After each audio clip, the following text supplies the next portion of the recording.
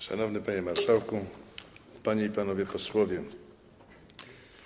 Dyskusja nad projektem ustawy o zmianie ustawy o rehabilitacji zawodowej i społecznej oraz zatrudnieniu osób niepełnosprawnych dowiodła, że rząd Rzeczypospolitej Polskiej w tej sprawie wykazuje daleko idącą pasywność, bowiem inicjatorami tegoż rozwiązania są posłowie klubu Platforma Obywatelska. Ale ta dyskusja również dowiodła, że rząd Rzeczypospolitej Polskiej wprowadza politykę oszczędnościową kosztem środowiska osób niepełnosprawnych. Wsparcie finansowe osób niepełnosprawnych nie może tylko opierać się na środkach zgromadzonych w Państwowym Funduszu Rehabilitacji Osób Niepełnosprawnych. W opinii mojego klubu, Klubu Poselskiego Sojuszu Lewicy Demokratycznej, wsparcie ze strony budżetu państwa dla tego środowiska jest zjawiskiem niezbędnym, koniecznym. Dyskusja dowiodła również, że inicjatorom zmian ustawowych udało się skutecznie podzielić środowisko osób niepełnosprawnych i po raz pierwszy nadać tak olbrzymi wydźwięk polityczny omawianym zmianom. Otóż wyraźnie dało się spolaryzować podczas dyskusji w podkomisji na komisji środowisko reprezentowane przez organizacje pozarządowe i środowisko pracodawców. Dyskusja dowiodła, że uzyskanie kompromisu jest niezwykle trudne. I w trakcie tych prac Klub Poselski Sojuszu Lewicy Demokratycznej zgłaszał swoje uwagi, zgłaszał swoje propozycje zmian, tak aby ów kompromis, który tak bardzo akcentowała i strona rządowa, i projektodawcy, żeby ten kompromis udało się osiągnąć, ale niestety bezskutecznie, bowiem autopoprawki do tego projektu wnoszone przez projektodawców miały pierwszeństwo od uwag zgłaszanych przez środowiska opozycyjne wobec rządu.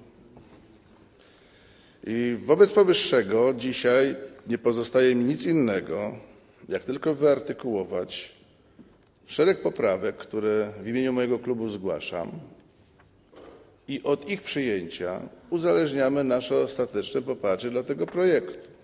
Na obecnym etapie zgody na przyjęcie projektu ustawy w takim kształcie w imieniu mojego klubu nie ma. Te poprawki są istotne i w naszym przekonaniu możliwe do przyjęcia.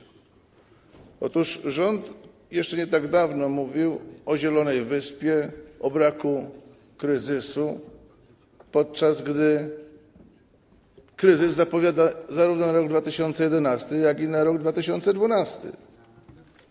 My proponujemy, żeby tę sytuację przejściową związaną z kryzysem odnieść tylko do roku przyszłego. Nie ma bowiem przesłanek, nawet tych długofalowych, twierdzić, że sytuacja kryzysowa przeciągnie się na rok 2011, 2012. Uważamy również, że osoby z umiarkowanym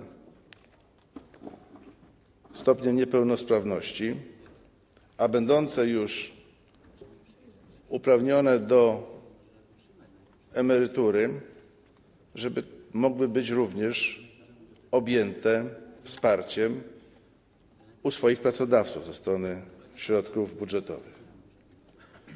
Chcemy również zaproponować inny podział środków wpłacanych na fundusz służący osobom niepełnosprawnym, by te proporcje zaproponowane dzisiaj 50 na 50% zmodyfikować na rzecz 30% na Państwowy Fundusz Rehabilitacji Osób Niepełnosprawnych, a 70% by pozostawało na koncie zakładowego Funduszu Osób Niepełnosprawnych. I wreszcie ostatnia rzecz. o której również mówili moi przedmówcy, przywołując stosowne vacatio legis. W naszym przekonaniu zmiany w tym zakresie powinny być nieco dalej idące niż te, które zawiera w sobie sprawozdanie komisji prezentowane podczas drugiego czytania. Panie Marszałku, Wysoka Izba, kończąc, pragnę podkreślić, że klub mój warunkuje, jeszcze raz to chcę powiedzieć, poparcie projektu ustawy w momencie, kiedy nasze poprawki znajdą uznanie Wysokiej Izby. Dziękuję bardzo. Pan poseł Sylwester Pawłowski, Sojusz Lewicy Demokratycznej.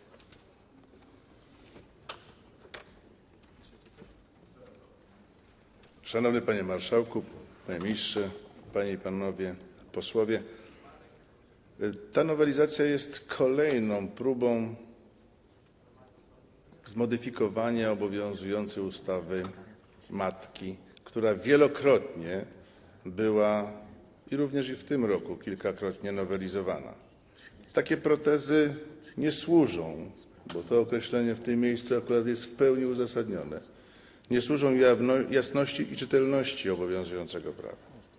Stąd, panie ministrze, mam pytanie, o którym również była mowa podczas prac na posiedzeniu podkomisji.